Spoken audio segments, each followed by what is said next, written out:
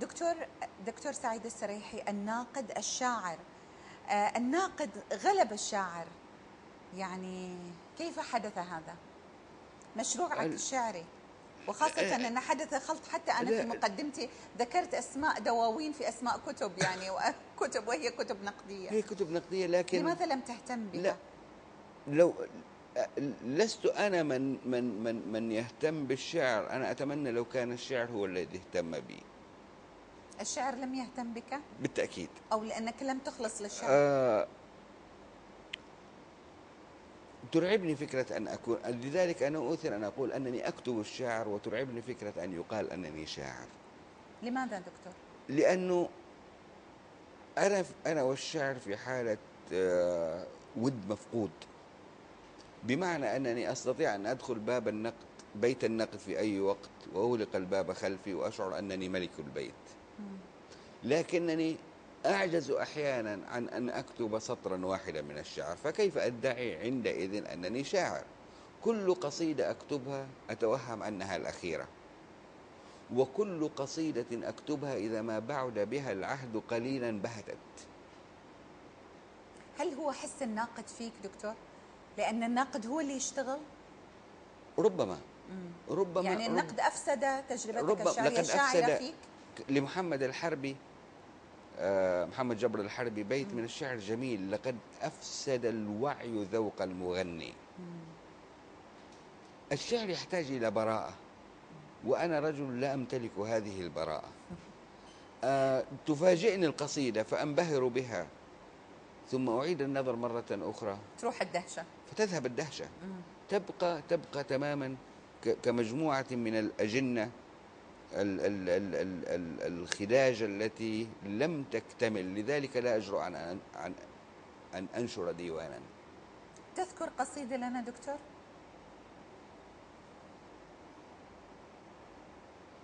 آه سأقرأ نص آه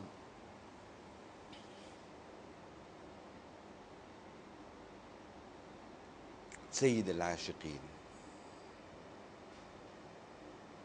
حين صوتك يقرع نافذة القلب أنسج رمل الجزيرة أنثى وأبني رجالا من الماء.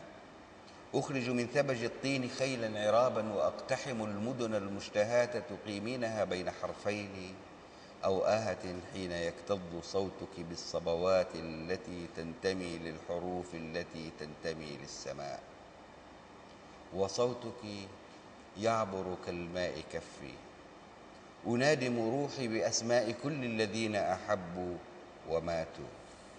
أناديهم واحدا واحدا من رماد الدفاتر من ذكريات الرمال ومن هاجس البدو عند السمر ثم أمزج أسماءهم بالذي يتساقط من صوتك الآن بالأحرف العربية حين تمر على شفتيك ودالية الطقس خارجة من ثنايا الحروف. وأنضح وجهي بالماء أبصر مملكتي. أنا سيد العاشقين وأنت أميرة وقتي. أرضي الفسيحة حين تضيق البلاد علي. أنت سماء التي حينما أستغيث تنزل عن عرشها ثم تمسح بالغيم قلبي يعشوشب الصدر. شتلة قمح تمر على شاهد العمر تلقي التحية. ذا مطر ذا مطر يصرخ البدو في جسدي. تقفز من شوقها أرضهم تكشف الرأس تلقي ملابسها قطعة قطعة ثم ترقص في الماء حد الغرق. وأخلق خلقا جديدا كأن لم أكن قبل من طينة آدها الجدب حتى ادلهم عليها الظما أنا سيد العاشقين.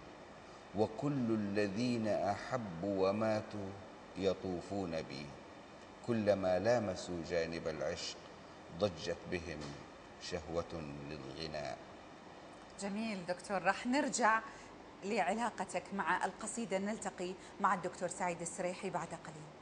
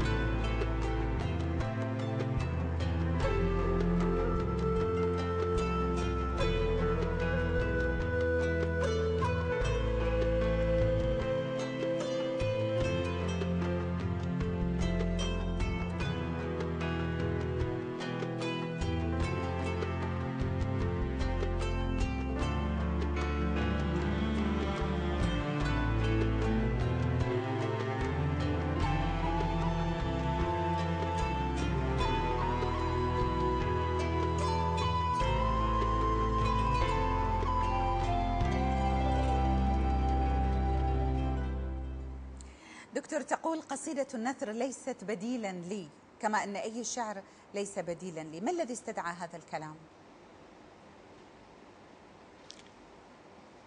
آه، لا أتذكر تماما من أي آه، سياق جاء هذا الحديث. لكن الذي أؤمن به أن الفنون ليست الفنون لا تنمو نموا خطيا. لا. تنتقل من بسيط إلى مركب من النصف الجميل إلى الجميل. الفنون لا يلغي بعضها البعض. لون يتسيد ألوان أخرى. لا يت... بالضبط. إذا الفنون لا يأتي منها شيء بديل للآخر. هذا المصباح هو بديل لل... للفانوس القديم والفانوس كان بديلا للشمعة. لكن الفنون القصيدة قصيدة الشعر الحر ليست بديلة للعامية وقصيدة التفعيل ليست بديلة للقصيدة العمودية أو قصيدة النثر ليست بديل للتفعيلة الفنون تتعايش وتعود ثانية تستيقظ وتعود ثالثة لتتقدم. إذا الفنون تتجاور نعم. لكنها لا تتعاقب. نعم. أهم الأصوات اليوم في المملكة العربية السعودية من شعراء؟ أنا أعتقد آه، محمد الثبيتي وأسأل الله له الشفاء سيبقى صوتا وسنحتاج مئة عام قادمة لكي تلد الجزيرة شاعرا كمحمد الثبيتي. يعني هل تؤكد مقولة آه، أن آه، الأصوات في السعودية لم يتجاوزوا صوت الثبيتي؟ أعتقد وأرجو أن يغفر أو قصيدة لي أو تضاريس الثبيتي كما كتب؟ تضاريس أنا أعتقد وأرجو أن يغفر لي الأصدقاء العرب إن قلت أن قصيدة التضاريس قد قد تكون وربما أحذف هذه القد فأقول أنها من أهم القصائد التي كتبت في القرن العشرين في العربية. آه وتجاوزها ليس لم يكن سهلا بالنسبة لمحمد الثبيتي وليس سهلا على أي شاعر آخر. هذه اللغة التي التي كان يرتكبها محمد الثبيتي حينما يجمع لغة عربية أعرابية في رؤى شعرية متطورة جدا على مستوى الحداثة. هذا الانتماء والانعتاق من الانتماء. هذه الحرية في أن يكون ولا يكون. هذا لم يتحقق. إلا للقلة ومحمد الثبيتي على رأس هؤلاء القلة. دكتور هل معنى كلامك أن فشل جيل السبعينيات؟ الدميني والحربي والصيخان وهذه الأصوات التي ظهرت؟ لا لا. لا فوزي أبو خالد مع حفظ الألقاب أنا, أنا قلت أنا قلت سيبقى محمد الثبيتي ولم أقل أنه وحده. مم. كنا قبل أسبوع نستمع ل آه، قصيدة المغني لعلي الدميني وهي من أجمل القصائد وكتبها في تكريم محمد العلي.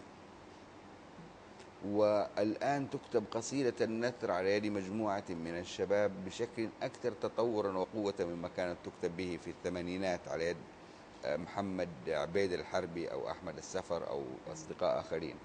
إذا لا حينما حينما أتحدث عن الثبيتي أتحدث عنه باعتباره استثناء لكن لا يعني ذلك أي تقليل من من من شعرية الزملاء الآخرين وأخص منهم نعم. علي الدميني أو محمد الحربي أو ما تبقى من عبد الله والأصوات النسائية دكتور آه أنا لا أنسى ابدا آه على مستوى الشعر تجربة فوزية أبو خالد تجربة أشجان هندي وأخريات أيضا نعم. على مستوى القصيدة دكتور تكتب الشعر العامي ولكنك قلت مرة لست, لست ضد الشعر الشعبي ولكنني ضد الفكر العامي. هل لك أن تشرح لنا هذه النقطة؟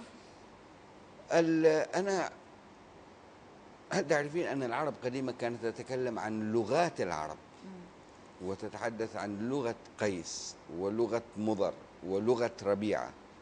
أنا أنظر إلى هذه اللهجات باعتبارها لغات. وهي أداة في يد الشاعر. إن أحسن استخدامها فقد أحسن وإن أساء فقد أساء. ليس ليست المشكلة أن أن أن أن أنها لهجة عامية. ذلك أن شاعرا كبيرا آه، قد يكتب قصيدة باللهجة العامية تحمل مضامين عظيمة.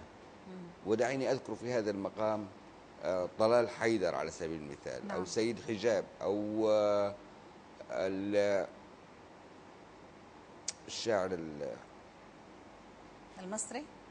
عبد الرحمن الأبنودي؟ عبد الرحمن مع حفظ. الألقاب للجميع نعم. إذا إذا هؤلاء لا نستطيع أن نصادر عمق التجربة لديهم لأنهم كتبوا بلهجة محكية. ما دام إنك استشهدت بالتجارب العامية المصرية نريد أن نسمع شيء شيئا منك. عندك قصيدة بالعامية المصرية دكتور؟